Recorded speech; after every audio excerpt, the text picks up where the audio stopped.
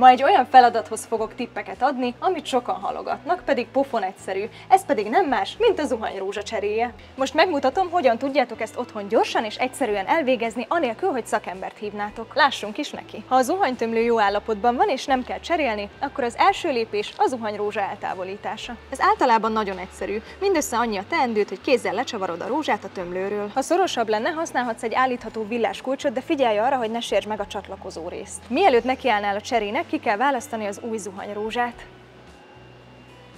A praktikerben rengeteg méret és típus közül választhatsz. A klasszikus egyszerű modellektől kezdve a több funkciós masszásfejes zuhanyrózsákig mindent megtalálsz. Én ezt a modellt választottam, ami többféle vízsugár beállítást is kínál. Így igazán kényelmessé teheti a zuhanyzást. Az új zuhanyrózsa felszerelése is nagyon egyszerű. Először győződj meg arról, hogy a tömlő csatlakozója tiszta, és nincs rajta semmilyen szennyeződés vagy vízkő. Ezután csak csavard rá kézzel az új zuhanyrózsát a tömlőre. És kész is! Most már csak annyi a dolgot, hogy ellenőrizd, hogy minden működik-e. Nézd meg, hogy nincs a szivárgás, és hogyha minden rendben, akkor már élvezheted is a zuhanyzás kényelmét. És ne feled, te is meg tudod csinálni.